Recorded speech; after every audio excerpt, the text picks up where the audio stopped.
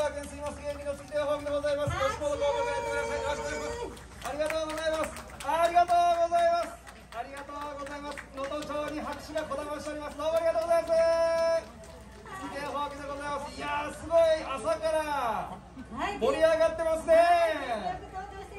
いやいやいや本当に美味しいものがいっぱいありますからね、楽しみでしょ改めてね寒ブリってめちゃくちゃ人気者なんやなと思いましたね。はい、で今年は3年ぶりなので、ねえ。3年ぶりなので、3年ぶり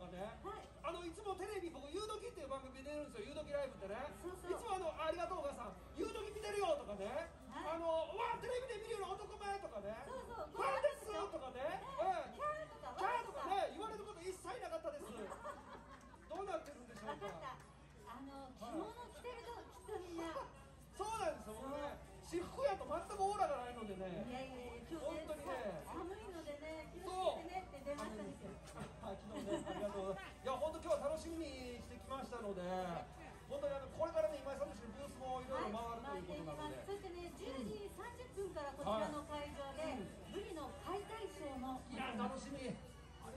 僕ねブリとか見たことありますか？何をおっしゃいますやら私あの釣りが好きではい。あのブリ釣りに行くんですよ実際。はい。釣船に乗って。釣るんですか？去年もね11月と12月2回船乗ってブリ。すごい。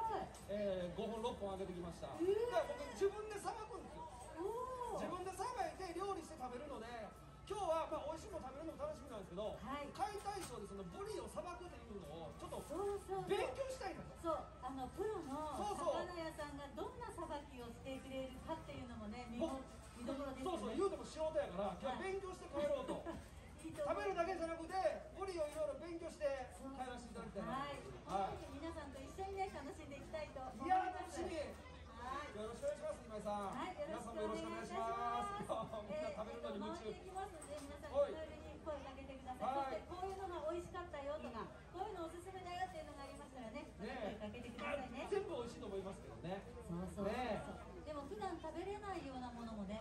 ですよ。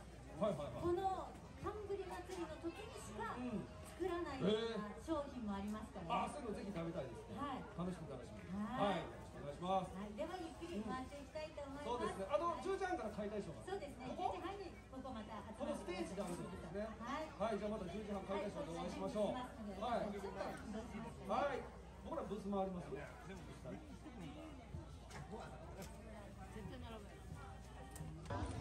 これね大きさもそうですけどね横から見るところ肉厚がねあ、お腹のね。背中とねパンパンこにあととってますからもう見るからに美味しそうですね。まああっという間ですよもう片面。早いなあ。早い。ねえ。さあ断面見せていただきましょうか。さあ。ちょっ、と見せていただきたいですねこの断面を。ん断面見せてください。うん、ああいいですねああお腹の部分も脂乗ってますよ。本当ですか？ね美味しそう。い。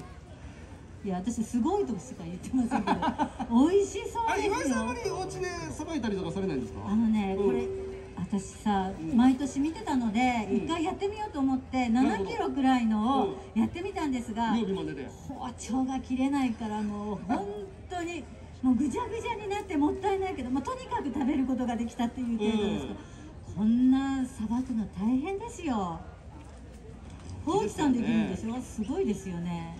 尊敬します。私はあのなんですか？釣るのも楽しみですけどさばいて料理してで、まあ、嫁と娘に食べてもらって2人の笑顔を見るというのがですね私はそこまでが釣りだと思ってますのでごめんなさいね。ちょっと好感度アップさせていただきました。すいませんお子さんも奥さんも幸せだわ、きっと。さあでも今日は能登町のみんな来てくださったみんなが幸せになりますからね。ねもう皆さん真剣な眼差しでね。そう。ね静まり返ってますそうどの部分食べようかしら。とか思ってるんね。いやそう言いながらもう3枚になりました。骨骨ですね。見てくださいこのいやいや内臓とか初めもて聞きましたよ、ね。ブリの皮が愛おしくなってきたいや本当に。もらっていきたいくらいです。さ